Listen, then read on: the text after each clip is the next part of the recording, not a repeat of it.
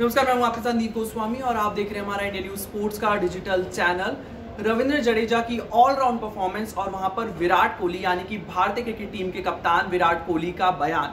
जी हाँ बहुत इंपॉर्टेंट ये बयान है। विराट कोहली ने रविंद्र जडेजा की तारीफ़ में कसीदे पढ़े हैं और साफ़ तौर पे कहा है कि जिस तरह से रविंद्र जडेजा ने अपना जो 19वां मैच है आरसीबी के खिलाफ, उसमें जो प्रदर्शन दिखाया है सी एस के लिए, वो बेहद खुश करने वाला परफॉर्मेंस है। और उन्होंने ये भी कहा कि जिस तरह से उनके प्रमुख ऑलराउंडर है रविंद्र जडेजा, अगर वो इस तरह का परफॉर्मेंस दिखाएँ तो ये बहुत अच्छे संकेत हैं भारतीय टीम के लिए। वर्ल्ड कप टी आने वाला है अक्टूबर अक्टूबर के महीने में भारत में ये वर्ल्ड कप होगा और वहाँ पर विराट कोहली जिस तरह से परफॉर्म विराट कोहली ने खुद अपने परफॉर्मेंस के साथ रविंद्र जडेजा का परफॉर्मेंस जोड़ते हुए कहा कि रविंद्र जडेजा ने महज 28 गेंदों में बासठ रन बनाए वहीं पर उन्होंने तीन विकेट चटकाए, जिसमें से एक रन, जिसमें रन आउट भी है और जो फील्डिंग है, जो बॉलिंग है, जो बैटिंग है तीनों ही जो डिपार्टमेंट है, उसमें रविंद्र जडेजा ने कमाल कर दिया और उन्होंने आगे इस बात के संकेत दिए हैं कि जो वर्ल्ड कप टी होगा, अब उसमें प्लेइंग इलेवन में रविंद्र जडेजा की जगह फाइनल होती हुई नज़र आ रही है। जी हाँ आईपीएल का स्तर ही कुछ इस तरह से है कि जो टीम यानी कि जो प्लेयर्स यहाँ पर अच्छा परफॉर्म करते हैं, उनकी जगह, उनकी नेशनल टीम में बनती हुई नज़र आती है।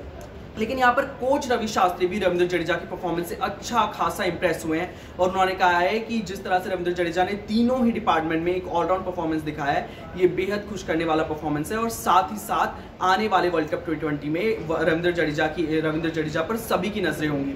हर्षल पटेल को यहाँ पर विराट कोहली ने डिफेंड किया है। हर्षल पटेल के एक ही ओवर में सैंतीस रन बनाए रविंद्र जडेजा ने। लेकिन यहाँ पर विराट कोहली ने कहा कि हर्षल पटेल की बॉलिंग और बैटिंग दोनों ही हम सराहना करते हैं। दोनों की हर गेंदबाज का दिन नहीं होता है तो इसलिए हर्षल पटेल का वो दिन नहीं था, लेकिन फिर भी हर्षल पटेल ने अपनी तरफ़ से बेस्ट परफॉर्मेंस दी।